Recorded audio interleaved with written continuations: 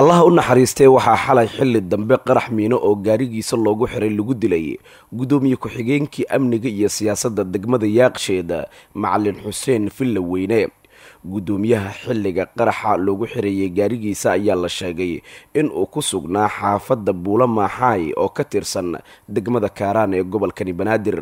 Goobta uu qaraxa ka dhacay waxaa gaaray ciidamada amniga baaritaano kooban oo ay ka sameeyeen kadib waxa ay goobta ka qaadeen meydka allaha u naxariistay guddoomiye ku-xigeenkii siyaasadda iyo amniga ee degmada yaaqshiid ee qaraxa lagu dilay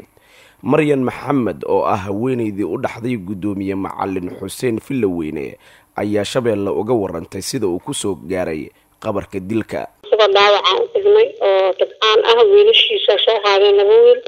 Kaysanayaa la geeyay haddii la geeyana waa nafta waa ka baxday sida intaa igu soo gaartay war waan gartay guddoomiyuhu halkeebuu ku sugnaa marka qaraxa gaariga loogu xiray? Wallaahi xaafaduu jooga guriga ku jira markuu ka soo baxo gaarigii soo raacana qaraxa waa la kaca marka degmadeebuu ku sugnaa markaas guri xaafadda le ahaa noo dheereen uu joogay oo kaaraan qayb ka mid ah. Waan gartay. Marka gaari baa qaraxiisa loogu xiray mise waddada miina lagu aasi bay ahayd qarax muxuu ahaa? Gaariga wax loogu xaray ahayd. Aa kursiga uula fadhiyay la kacday. Waan gartay. Gaariga yaa la saarnaa isaga markuu qaraxu dhacayay keligiisu ahaa keligiis xaafad meeshuu joogay hadduu ka soo baxo gaariga raaco kuraha uu ku rogayna waa la kacday asaga keliyaa ku dhintay wax kale oo la joogay ma jiraan ama wax xaafadda oo wax ku noqday ma maqleen.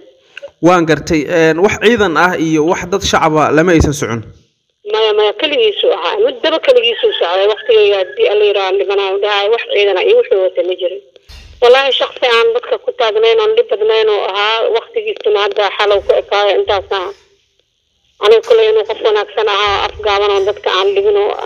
taasaan intaasaan ka ogaa cisbitaalkaa laga qaaday c a d da hadda loo sii wadaa ayaa leeyi markii hore meesha dhaawac ahaan miyaa looga qaaday mise qaraxu markuu dhacay meeshiibu ku dhintay wallaahi wiilal yaryar oo asaga dhaloo shan iyo labaatan jir u weyahaa qaadeen ayagoo shahaadanaaya iyo agmarsiiyeen cisbitaalka markii la tegana intaanan ka daba teginba oon weli xaafadda aan joogana waa dhintaa la igu yiri inuu lagu qaaday mid ahaan iyo inuu dhaawac ahaan lagu qaaday ma sheegi karna laakiin kule markay qaadayeen wiil kalaa la socdee inuu naf aan saas inaa jirtaa la dhahay siaadida haddii laga soo qaadaba horaa laga aasahaa la yiri waayahay allah u naxariistay guddoomiyuhu mise ciyaalu ka tegay? Labaatan aa ku yimid hal gabraadoo saasi jirta waayahay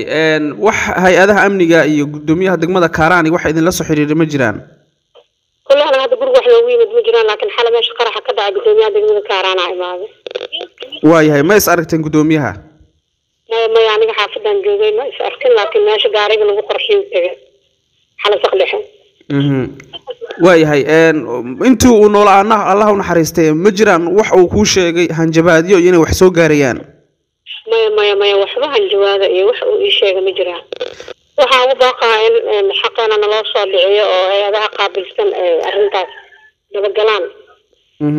waxna ka qabtaan dilka guddoomiye ku-xigeenkii amniga iyo siyaasadda degmada yaaqshiid ayaa ku soo aadaya xilli maalmihii ugu dambeeyey ciidamada amniga soomaaliya. Howlgallo baaxadoodu oo aada u weyn yahay ay ka wadeen xaafadaha iyo degmooyinka gobolkani banaadir waxaana howlgalladaasi lagu ciribtirayay maandooriyaha iyo ciyaal weerada shirkadda hormuud telecom waxay macaamiisheeda u samaysay qiimiyo dhimis ballaaran xirmooyinka internetka iyo kaarka ku hadalka ee adeega anfac balaas xirmada cusub ee labaatan iyo shanta sinti waxaa laga dhigay afar boqol oo m b iyo toban daqiiqo oo ku hadalka gudaha ah halka xirmada pointy five kana laga dhigay siddeed boqol iyo konton m b iyo soddon daqiiqo oo ku hadalka gudaha ah xirmada halka doolar waxaa laga dhigay laba g b oo internet data ah boqol daqiiqo oo ku hadalka gudaha ah iyo konton fariin qoraaleed. Laba doolar waxaad ku heli kartaa shan g b oo data ah laba boqol oo daqiiqo oo ku hadalka gudaha ah iyo boqol fariin qoraaleed. Shan doolar waxaad ku heli kartaa laba iyo toban g b shan boqol oo daqiiqo oo ku hadalka gudaha ah iyo boqol iyo konton fariin qoraaleed. Toban doolar waxaad ku heli kartaa labaatan iyo sideed g b